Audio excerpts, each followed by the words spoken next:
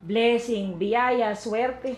Walang pinagkaiba yan. Pare-pareho lang yan. Ako, Inday, ano yung ginagawa mo? Sweeping the floor mo. Alam ko, eh bakit palabas yung pagwawalis mo? Eh parang pinalalabas mo, eh naku, ang asin! Ma'am! Ako, malas yan, sabi ng matatanda! Ma'am, excuse me. Naniniwala po kayo sa hula at horoscope? Naman hindi. Teenager pa lang ako. Sinusubaybayan ko na ang horoscope ko. At more than 50% of the time, eto mama naman siya. I'll be handing in my resignation today. Okay. Wish me luck. Sana I made the right decision. Sabi ng manghuhula, magsasara na yung kumpanyang pinapasukan mo. Can't you understand? I lost my job. I made a mistake. I made a wrong decision. Napakagago ko nga eh. Naniwala ako sa manghuhula mo. And I should have known better than this!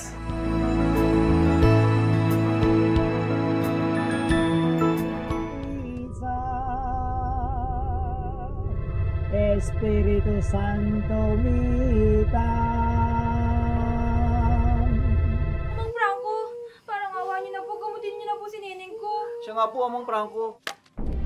sa tinagal-tagal na panahon ng paglilingkod ko sa Diyos, sa pagsunod ko sa Kanya, sa Kanya mga utos, na ako ay manggamot. Wala pang napapahamak sa aking mga kamay. Mario, baka nakakalimutan mo na kung hindi sa panggagamot ko, hindi ka sana nakapag-aral sa bayan at hindi ka sana nabahagi na ng kung sinong Herodes ng mga salitang sinasabi mo. Gusto ko sanang malaman ng katotohanan tungkol sa nangyari sa akin. Lahat po ng gusto niyong malaman, Tay. Pipilitin ko pong sagutin. Saan ka galing kagabi, ha? Sa meeting. Sinungaling. Eh, bakit may lipstick tong polo mo? Sa meeting nga, kasama ko si Mr. Gregorio. Kaya may lipstick yan dahil ano, Huwag kang magsisinungaling. Anong ginagawa nyo? Ba't kayo nagsusugal? Eh, Mami, pares-pares lang naman po ito eh. Anong pares-pares lang? Basta baraha, sugal. Lord, papanalunin mo naman ako sa loto. Promise, magtatights ako kapag nanalo ko. Hoy! Pinakatabi ka ng MMDA, ba't di ka tumabi? hindi na ako pwedeng huminto. Bayaan mo na, hindi naman tayo maabutan yan eh. Ano? TPP. Rosan!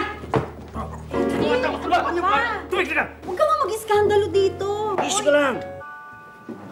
Maraming salamat, sir. Hindi po kayo magsisisi, sir. Maraming... Sorry, sir. Thank you, sir.